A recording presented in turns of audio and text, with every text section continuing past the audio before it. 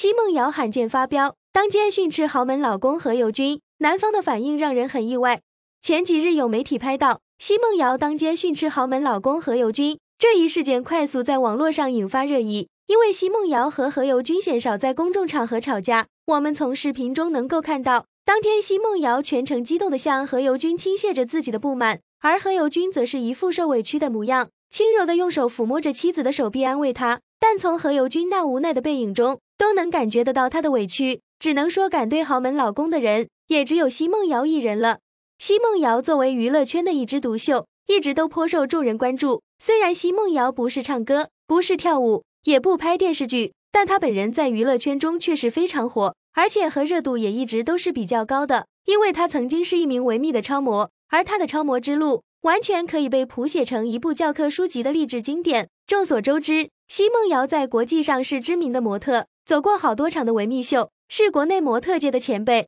可以说她的业务能力是毋庸置疑的。在近几年来，奚梦瑶因为高挑的身材和姣好的面容，受到了很多人的喜爱。也是许多超模心目中的女神。虽然有一次在秀场上不小心摔了一跤，但是这并没有影响她的人气，反而让她开始频繁的进入大众眼前。而在维密舞台一摔事件之后，奚梦瑶算是真的进入了娱乐圈，先后参加了《爱的时差》和《女人有话说》等综艺节目，也凭借《爱的时差》收获了一个又帅又有钱又有实力的豪门老公何猷君。其实何猷君和奚梦瑶一开始被爆出在一起的消息时，还是有不少的人表示不接受。因为你很多人觉得两人不般配，不仅是颜值上的差距，还有着家世地位般的差距。但是他们却在综艺节目中的表现十分甜蜜，并不把这些不好的声音放在心上。婚后的奚梦瑶还为何猷君生下了一儿一女，直接为赌王家族增添一个好字。但是自从奚梦瑶结婚后，她就鲜少站在 T 台上了，围绕着她的话题也逐渐变成了婚姻和家庭。